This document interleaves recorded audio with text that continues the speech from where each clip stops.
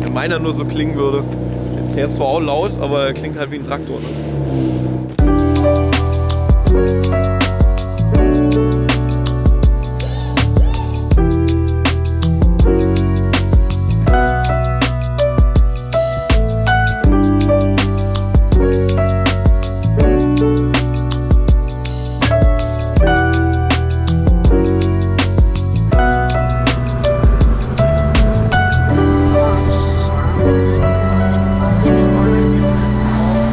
So, einen wunderschönen guten Morgen und herzlich willkommen zurück auf dem BMW Melkus Kanal. Wie ihr am Rauch sehen könnt, äh, mir ist tierisch kalt, wir haben minus 4 Grad, aber äh, nichtsdestotrotz drehen wir heute trotzdem für euch. Wir fangen nämlich heute eine neue Serie an. Wie ihr seht, sind wir beim Autoservice Reichert, äh, sind jetzt hier in Dresden auf der Kesselsdorfer Straße 99 und wir machen eine neue Serie, in der wir jetzt nämlich euch Kundenstories erzählen wollen. Uns geht es jetzt nämlich darum, bei dieser Serie auch mal ein bisschen zu beleuchten. BMW Melkus sind ja nicht nur Neuwagen und unmittelbare Gebrauchtwagen, sondern eben auch durch den Teilevertrieb haben wir auch eine große Klassikaffinität, auch durch den RS 1000, durch unsere Historie. Und dementsprechend wollen wir jetzt mal ein bisschen bei unseren Kunden gucken, wo verstecken sich so Schätzchen, wer hat was Cooles da und wer bezieht auch seine Teile bei Melkus und wodurch können wir da helfen, dass die Schätzchen eben so aussehen, wie sie aussehen. Dementsprechend, wir gehen heute einmal rein. Äh, wir haben heute tatsächlich nicht nur ein Auto, sondern zwei sehr coole Autos. Äh, treffen uns jetzt gleich mit dem Alex und ja, würde ich sagen, kann es losgehen. Jetzt sind wir einmal drinnen, links und rechts kann man schon die coolen Sachen sehen und Alex sieht man auch. Moin erstmal. Hallo. Ja, willst du dich vielleicht erstmal vorstellen? Ja, ich bin Alexander Reichert, äh, einer der Geschäftsführer vom Autoservice Reichert. Wir sind ein Familienbetrieb. Meine Schwester ist in der Firma und meine Mutter noch in der Firma. Und wir machen das jetzt seit 1999. Sehr cool. Und danke, dass du dir auch als erstes Zeit nimmst für unsere neue Serie. Danke. Äh, wie man aber sieht, mit anhand deiner Autos hast du es auf jeden Fall auch verdient. Willst du vielleicht ein bisschen was zu deinen, deinen Schätzchen erzählen? Das ist eine E E30 320 IS, ein sogenannter Italio M3. Und ja, den habe ich vor sieben, acht Jahren gekauft und über einen gewissen Zeitraum dann verbessert, verschönert. Ähm, steht aber gerade aktuell eher mehr rum, wie es gefahren wird. Mhm. Und dann haben wir natürlich ähm, noch das BMW 1N Coupé, das ist noch relativ jung in der Familie. Und äh, ja, ich wollte mal wieder einen Exoten haben und da kommt man an so einem Auto nicht vorbei. Das stimmt. Wie lange hast du den da schon? Ein Jahr. Ah, okay. Ich hatte davor einen M3 CSL, einen E46. Auch sehr schön. Den hatte ich dann irgendwann mal verkauft, mhm. dann eine Zeit lang mal bloß Oldtimer bewegt und mhm. dann ja. musste wieder ein bisschen was Zügiges her. Ja. Was, was ist für dich so das, das Highlight an dem Auto? Was macht es so für dich aus? Dass das Auto keine Sonderausstattung hat. Mhm. Also keine elektrisch anklappbaren Spiegel. Viele Leute lachen. Mein CSL war zum Beispiel ohne Radio okay. und sowas. Und weil es halt eine reine Fahrmaschine sein soll und weil es halt natürlich diese M3-Achsen in eine Einzel zu bauen und das Auto dann so herzustellen und nicht einfach nur einen Aufkleber drauf zu machen, Software zu ändern und Felgen drauf zu bauen, sondern das ganze Auto ist vom Konzept her einfach nur Wahnsinn. Und es macht nach einem Jahr immer noch Spaß, aufs Auto zuzulaufen und immer so ein kleines Schmunzeln. Das sieht man ja auch extrem selten, dass du am Telefon erzählt hast, dass ja. du einen hast, wo er auch direkt ganz heiß drauf, weil also in Weiß habe ich tatsächlich selber noch nie einen gesehen. Ähm, hast du selbst an dem Auto jetzt hier auch schon was verändert? Nee. Gar nicht. Ich habe das Auto so gekauft. Mir war wichtig beim, beim Kauf, dass das Auto erstmal deutsche, äh, Deutschland Erstauslieferung hat mhm. und dass es möglichst äh, ja, nie getuned ist. Ich habe mhm. mir viele Autos angeguckt, auch in anderen Farben, die nie original sind mhm. von BMW. Und da muss ich sagen, da geht da die ganze Form von der Seitenwand, das geht alles verloren. Ich habe mir das in den Grau angeschaut, von äh, diese typische Audi-Farbe. Hingekommen nach Regensburg, angeguckt und dann gleich wieder nach Hause gefahren. Okay. Ja ähm, in Schwarz angeguckt, aber dadurch, dass auch viele umgebaut sind, für mich ist Originalität immer sehr wichtig, dass mhm. es so stimmig zueinander passt. Ja. ja. Mhm, das ist auf jeden Fall genau. eine gute Sache. Und bei dem E30 sieht man auch, Originalität ist dir auf jeden Fall sehr wichtig. Ist der ein bisschen tiefer? Oder? Ja, der ist, der ist ein bisschen tiefer, weil die Original doch schon ein bisschen, bisschen hoch Ganz schöne Busse, ja, ja. ja, ja. Beim E30 muss man immer ein bisschen aufpassen. Ja. Ähm, und wie gesagt, aber das ist ein absoluter Exot, weil eine Limousine ohne M-Paket und dann so ein Motor, Sportschaltgetriebe, erster mhm. Gang hinten links. Viele können damit nie so richtig mhm. fahren, aber es macht schon Spaß. Ja, also absolutes Highlight und so ein bisschen so eine, so eine Art Schläfer. Also das Auto kannst du überall mal hinstellen, das geht in der Menge so ein bisschen unter, mhm. nicht wie so ein E30 M3, den du vorher, den hatte ich auch schon. Oh, okay. Den stellst du irgendwo hin und dann stehen dann Leute drum und gucken, ob der original ist und so und das mhm. ist so ein bisschen, ja. bisschen, bisschen, bisschen schwierig. Ja. Wie, wie genau hast du den jetzt hier wieder aufgebaut? Also wie sah der damals aus, wo du den gekauft hast? Also der wurde in Kroatien damals komplett lackiert. Die wurden ja nur nach Italien und Kroatien ausgeliefert, die Autos. Deswegen gibt es sie in Deutschland relativ selten. Und ähm, ja, der war so vom Zustand her gut, aber ein bisschen schludrig zusammengebaut. Also Okay. dort hat was nie gepasst, da hat was nie. Also so, ich habe dann immer so einen Hang zum Perfektionismus und ja, Sieht man aber auch. das, ja. Dann werden einfach auch diverse Teile getauscht und wenn die vielleicht alt aus oder alt aussehen, dann muss ich die dann nur so ein bisschen neu machen, weil es dann einfach fürs Auge nie passt, wenn das so perfekt aussieht und ringsrum alles alt wie der Kühlwasserbehälter zum Beispiel Ja. bei ME30 kannst du dir angucken, die sind immer so braun und so. Das, das, Mhm. Und dann haben die immer Restaurationen drauf geschrieben oder bieten die Autos an und dann hast du so einen alten Behälter und so einen neuen Auto, das passt für mich nie. Und deswegen, meine Teile beziehe ich ja alle seit Jahren schon von der Firma Melkus. Mhm. Und ich muss sagen, ich bin mit dem Gesamtpaket, was BMW und BMW Melkus betrifft, äh, echt sehr zufrieden. Ja, das, das freut uns zu hören. Gute Sache. Wenn du dich für eins deiner Schätzchen entscheiden müsstest, was wäre denn dein, dein Favorit? Oder sind sie doch zu verschieden? Ja, eigentlich sind sie zu verschieden, aber mein äh, Favorit wäre auf jeden Fall das BMW 1 Coupé. Ja. Du hast Ausstattung wirklich gar nichts drin, ne? Gar Weil nichts. das ist ja der, das ist der böse Bruder von meinem. Ich war ein 1,18D aus der Generation. Also hier ist gar nichts drin. Ja. Also, warte, ich muss mal kurz den Schlüssel drüber. Ich finde das, ich finde das super cool, wenn man, das, wenn man so den Vergleich auch sieht. Damals in den M-Innenräumen, da hat sich eigentlich nichts wirklich getan. Du erkennst es am Tacho und ansonsten hast du ja gar nicht so viel. Klar, ich meine mit Alcantara jetzt noch bezogen.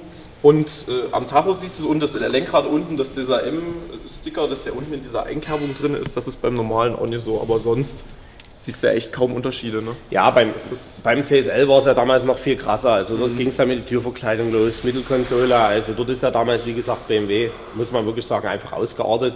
Und das ist für mich so eins der, der letzten Autos. Für mich dann so die Variante M2 Competition oder der.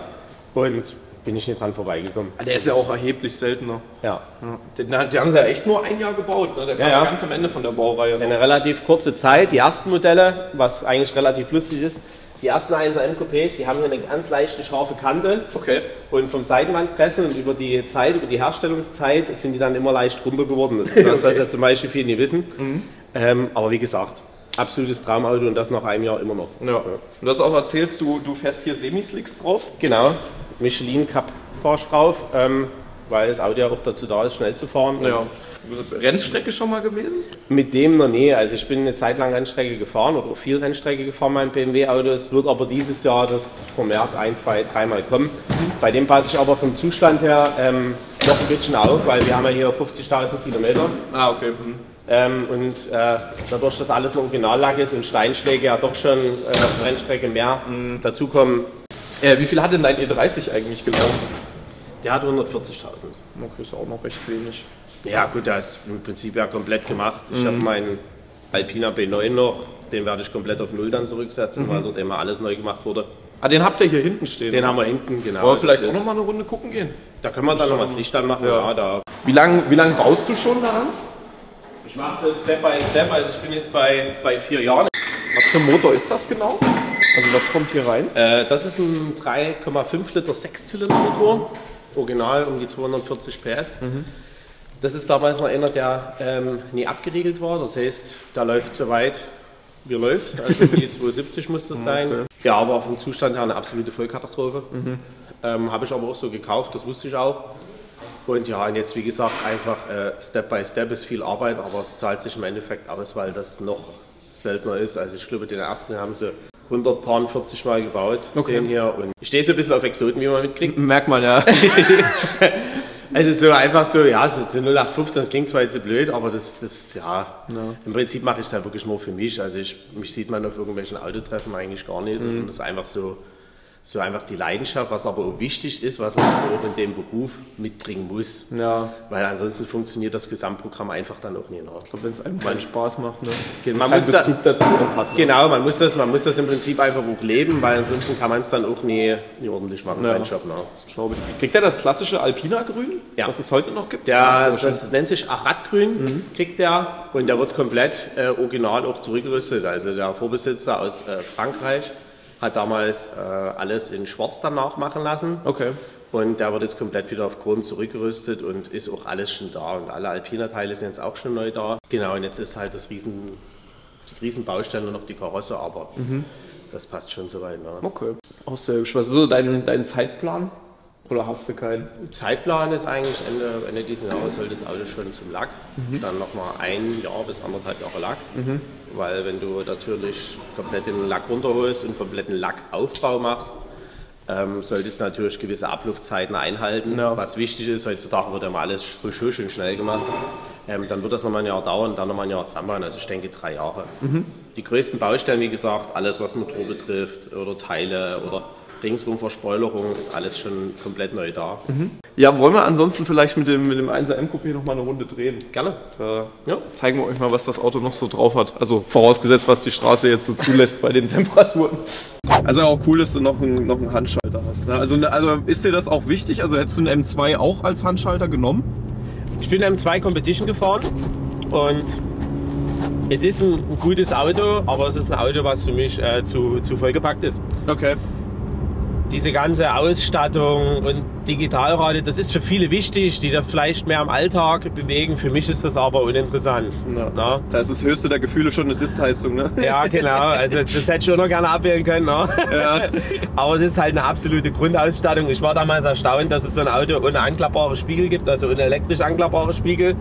Also ja, wie gesagt, es ist einfach das Gesamtrundumpaket. Für mich ist auch immer so ein Thema äh, Wertverlust oder Ja. Verfall oder Wertsteigerung ist für mich ein Thema, was sehr wichtig ist bei Autos. Du hast ja nur Wertsteigerung hier Genau. eigentlich, ne? Also Ja.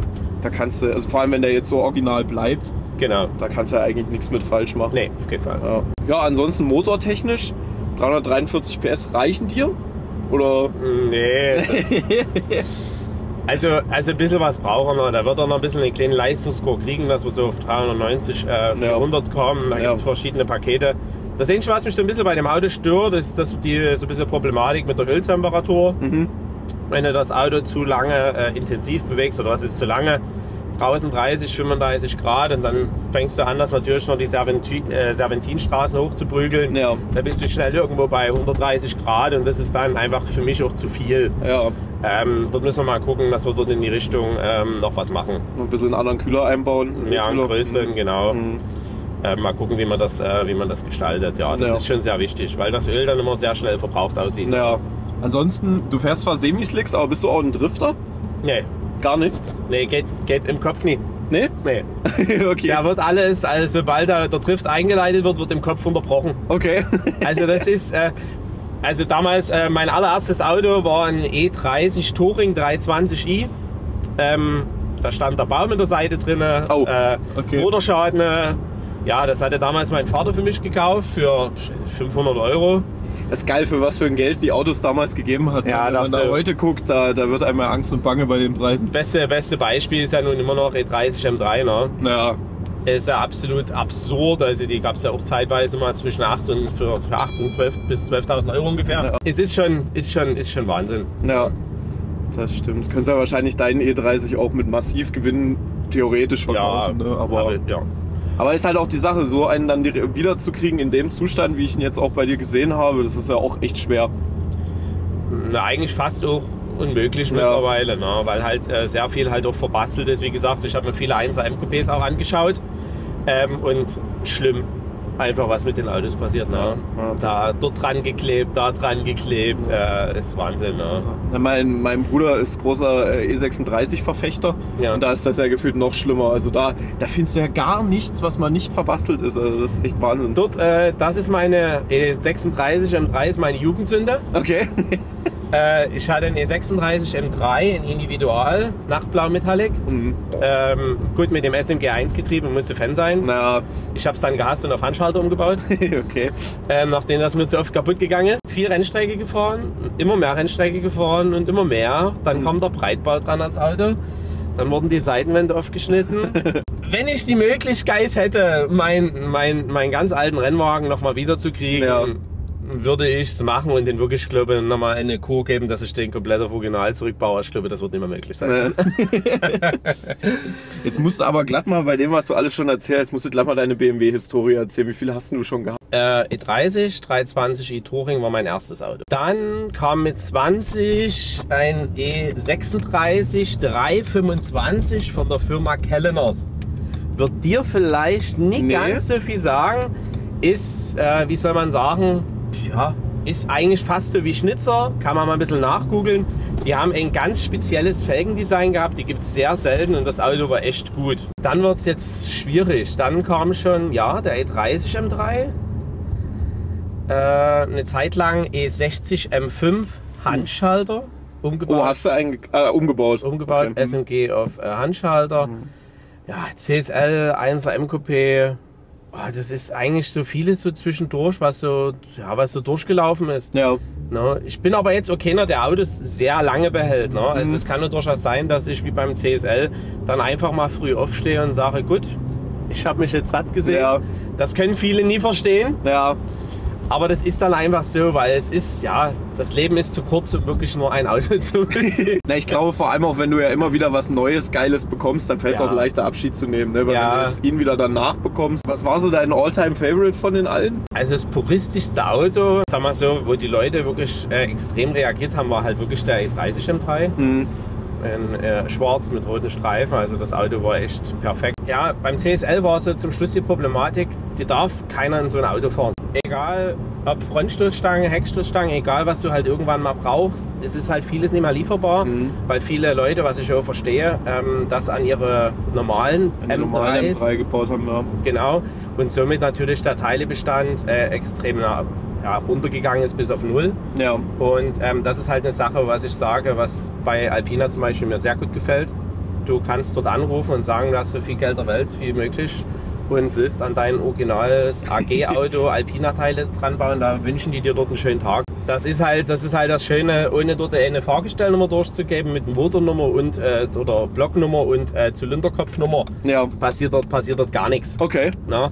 Und das ist halt das Schöne, was vielleicht BMW gewiss, bei gewissen Fahrzeugen auch machen soll. Ansonsten ist bei dir äh, BMW-Affinität, liegt es in der Familie oder wie bist du dazu gekommen? Ja, mein äh, Vater hat äh, ganz früher bei Melkus gearbeitet. Ach, Tatsache? Ja. Ah, okay. Ja, das ist ja cool. Also der hat äh, früher bei, bei Melkus gearbeitet. Ähm, Was hat er ja, gemacht? So bis ungefähr Servicetechniker. Mhm. Dann war der Werkstattleiter. Da so um die 90er Jahre rum. Ja, und dann, ja, es gab damals keine andere Wahl. Ne? Mein erstes Auto, ich wollte damals einen Opel Kadett äh, GSI Cabrio haben, mit diesem Digitaltacho als Mhm. Ja. erstes Auto. ähm, da haben meine Eltern gesagt, dass ich doch bitte ausziehen sollte. Ja. Ja, das ist eigentlich immer wieder eine, äh, eine recht entspannte Story. ja. Und äh, ja, und dann ist es halt, wie gesagt, äh, zu dem Unfall gekommen mit dem Motorschaden. Ja, dass man einfach zu Hause in der Garage dann den Motor getauscht hat, den Schweller gewechselt hat. So ging das dann einfach mit 16 dann los. Ne? Mhm. Und somit, das äh, lässt den dann auch nicht mehr los. Ne? Da, ist die, da ist die Macke in die Wiege gelegt. Ja, das ist sozusagen. einfach so. Man, man steigt halt immer wieder ein und man fühlt sich direkt immer wohl, was, Ja. was, bei, was bei anderen Herstellern jetzt nie so ist. Auch wenn die vielleicht auch auf ihre gewisse Art und Weise auch sehr schön sind. Ja. Ähm, aber du steigst ein und ich setze mich rein und bin gleich mit dem Auto eins. Das Mhm. habe ich halt bei den anderen Autos halt Ja. einfach nie. Was ist für dich so ein, so ein Baujahr, wo du sagst, ab dem Moment sind die Autos nicht mehr so interessant für dich, also zu modern? Nach einsam.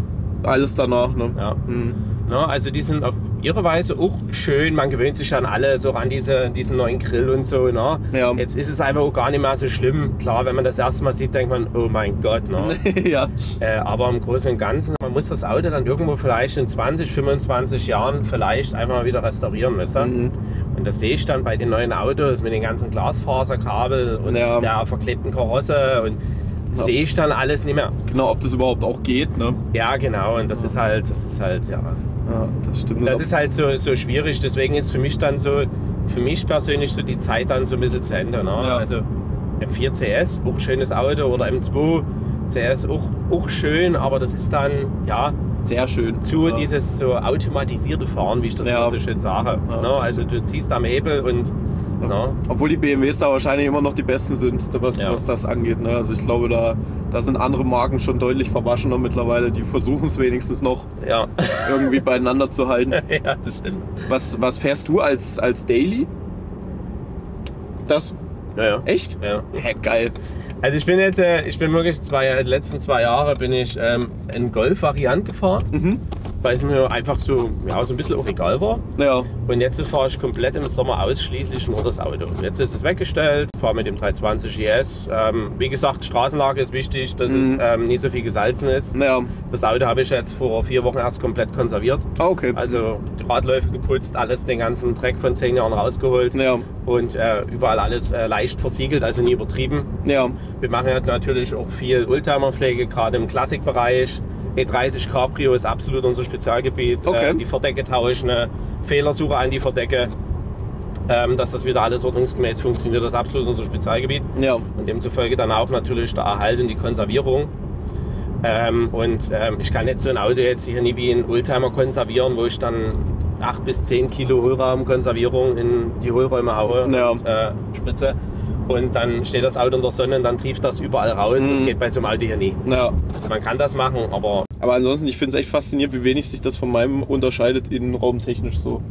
Das ja, aber sehr, umso, sehr umso, ähnlich. umso Es ist ja eigentlich extremer geil, ist es halt außen. Ne? Ja, das ist echt geil außen. Also. So, wir haben es jetzt geschafft. Wir sind mit dem 1er MQP wieder da. War sehr geil. Danke, dass ich mal mitfahren durfte. Danke, danke. Äh, Eine eine sehr, sehr coole Sache. Ja, und ansonsten würde ich sagen, äh, hast du noch ein paar letzte Worte? Oh, ist der Ulberum bist du nicht, aber. nee, danke, also danke, dass ihr da wart. Äh, war sehr entspannt, so ein bisschen familiär, ein bisschen sehr locker gewesen. Ich denke, dass du das, was ihr wolltet. Und Ja. Ja, Danke, dass du mitgemacht hast. Haben wir ja auch gleich hier Doppelbeschallung. Wir haben ja schon gesprochen. Dir fällt auch gleich jemand ein, den wir vielleicht auch nochmal vor die Linse nehmen können. Auch Genau. nochmal jemand mit einer, mit einer guten BMW-Macke im Ja. Positiven gemeint. positiv. Ne? Und ja, ansonsten, dann danken wir. Und dann sehen wir uns hoffentlich bald mal wieder. So sieht's aus. In diesem Sinne, schalte beim nächsten Mal wieder ein und wir sehen uns. Ciao. Ciao.